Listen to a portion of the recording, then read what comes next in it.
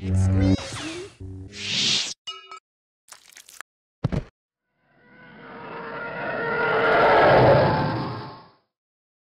guys and gals, I'm here with a new video, and I was going to wait and do this when I was feeling a bit better, but it's been about a week, and I'm only getting worse. So I thought, why not something that's fairly easy, nothing I have to really transform, and I've had these guys for a while, and I don't know why I was putting it off for so long.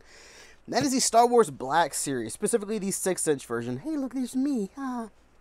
Uh, these things are really, really neat. This is the first one I got. This is R2D2 from Wave 1. That came out in like 2013, so I'm, I'm, I'm a little behind. Uh, packaging is quite elegant. It's very, very simple. You have a nice little picture of R2 at the top there. There's really not much on this. Uh, there is his bio if you do want to read it. Again, I'm not going to read it because I don't care. But uh, yeah, very, very simple packaging, but it works. It, it it's it's a nice it's a nice look. So that's really it. So once you get R2 all opened up, you of course you have R2, and you have a bunch of little accessories that are that are going to fit with R2. And there's a lot of things that they really didn't have to include, but I'm really glad they did. First of all, you need to take these little leg attachments. Uh, these will fit into R2's legs. But you also have these little guys you can switch out to give him his boosters that he had in the prequel trilogy. So that's neat. You have his sensor scope, which I will show in more detail, uh, the periscope, and of course Luke's lightsaber from Return of the Jedi. So a nice amount of little accessories with this guy. He's he's kind of iffy for the twenty dollar price point. There isn't too much there, and I will I will admit, compared to what was first shown at whatever Comic Con it was, the paint job on this guy is a bit lacking. The first in person version that we saw, the paint lines were very very crisp, very very well done. Uh, when you actually get him, mine is not the worst I've seen. I've seen some that are extremely sloppy. Mine, I, I, I honestly cannot tell how well the camera's going to focus on this. Some of them aren't too bad, but some of them there's just there's some over overblown paints. I'm right term. I don't know. I'm medicated right now. some of the some of the paint just doesn't match up right, and it's again, it's not the worst I've seen, but it's definitely not the best. Uh, he he definitely could be better. Um, some parts are just look sloppy. So it does stink that we were promised this really, really cool thing, and the end result is something that's kind of iffy, but it's nothing new with Hasbro. What can I say? Uh, the legs on mine are a little bent. I, I, need to actually fix those. This guy is so wedged in packaging. When you pull him out, it may actually bend his legs outward. They are kind of this softer plastic, almost rubbery, and they do have kind of a they're kind of stretched out, looks kind of weird. But you got to get R2 all dressed up. So you have these little guys. I'm not sure it matters which side goes where. They they fit about the same from what I can see, and they just line up right on there. Got to complete R2's look. So there's that one onto there. Give a good little push. And there, there you go. Now R2's all dressed up and ready to go to town. And I do think for a figure of his size, he is of the six inch scale, but he's meant to go with six inch figures. Obviously, he's not six inches himself. I don't know why you would think that. Um, I do think he looks nice on the show. I think his colors aren't that bad. He doesn't look too terrible until you get right up close and really examine his paint job.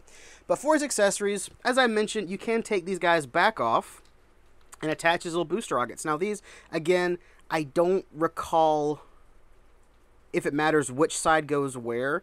Um, I have noticed one side of R2 is a little snugger, but it's the same with, with either piece. I could switch them out and it'll be just as snug. I, I don't know if it really matters. See, that one, it's kind of snug going in there. So if I try to take this little guy, will it be any different?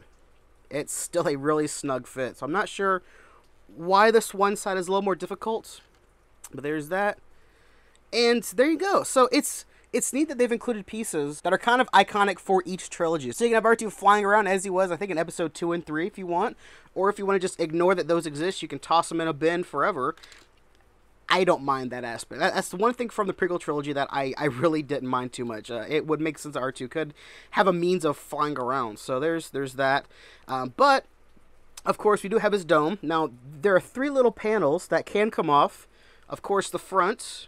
Whoop, is for Luke's lightsaber, and it, it, it is grooved to kind of fit a, a certain way. So you kind of get that lined up, plop that right in place. So there's that look. He's ready to help Luke out. You can, of course, take off this little one here. And I'm not sure, I'm going to go ahead and take this one off as well. I'm not sure it really matters which goes where. I thought these were sized differently to allow specific tools to actually fit in place. Uh, they both fit, and they're both kind of loose. So I'm going to go and take this out just real quick. For the periscope, um, I would have liked if the lens could have actually been been detailed. It's just it's sculpted in, but there's no actual paint.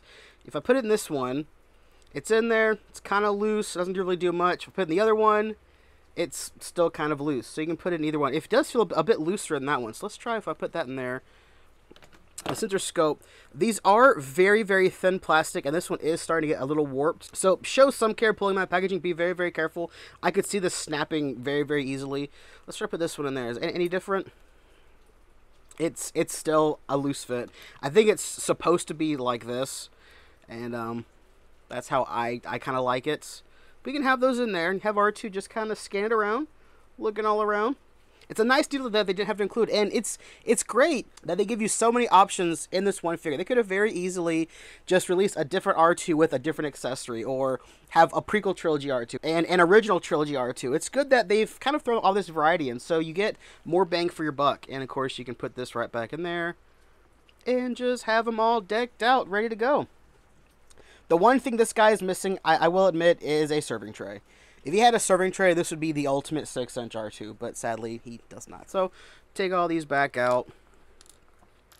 And the panels do match a certain way, so forgive me if I take a little bit of time. Yeah, that's the wrong one.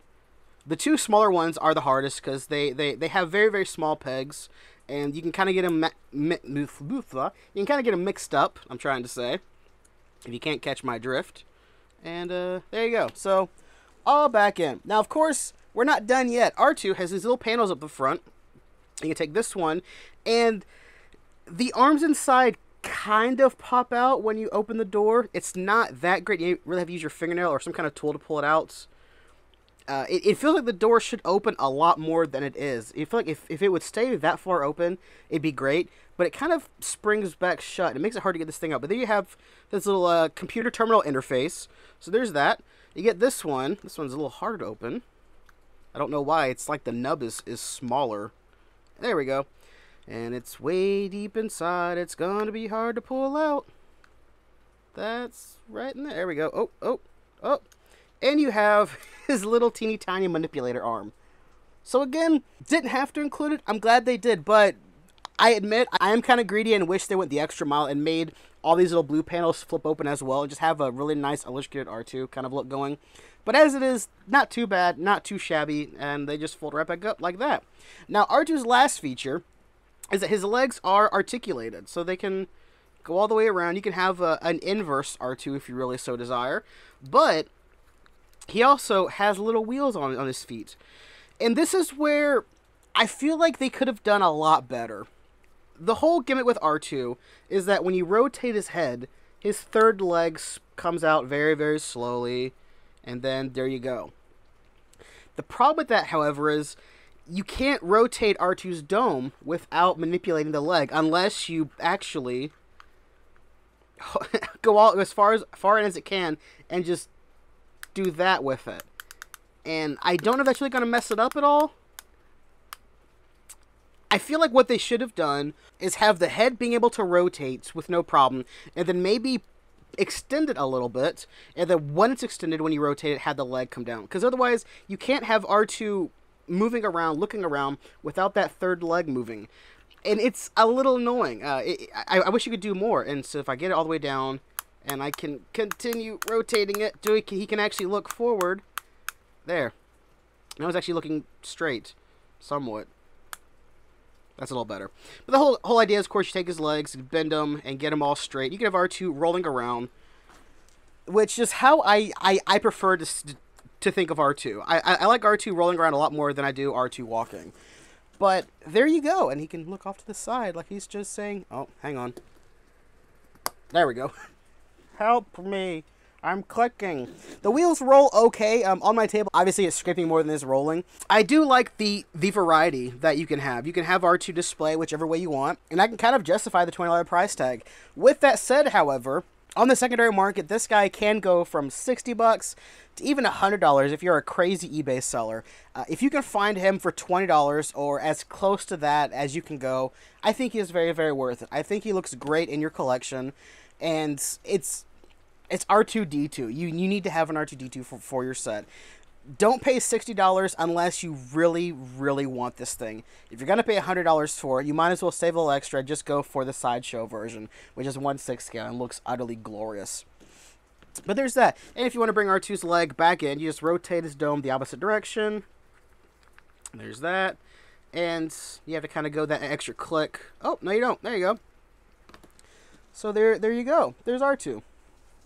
And in case you want to see how he scales with other six-inch figures, here are uh, my my my newest little addiction. Uh, I really want to army build with these guys so badly, and they're not liking the table. They're not liking the table at all. But you see he is a great height with them. He looks great with other six-inch figures. And I do not mind buying it one bit. Although I am still hoping that they announce a C-3PO soon because, come on guys, it's like Wave 6 now. Where's freaking C3PO? If you want to get started with the Star Wars Black Series, I highly recommend checking out EntertainmentEarth.com. They don't have the first wave, but I think they have waves 2 through pre-orders for the ones coming out in May and June. And I, I, think I think like Bossk was one of the most recent ones that I personally want to get. I'm not completely sold on the entire line. I'm kind of picking and choosing from different waves. I got R2 and Darth Maul from Wave 1, Greedo and Han from Wave 2. I'm very choosy on which ones I want, but Entertainment Earth has a great selection of them, and I would say check it out. See which ones you may want to get, and that's really it. So I hope you guys have enjoyed this video somewhat, and I hope you have a great day. Thanks for watching as always, and I'll see you around. Take care.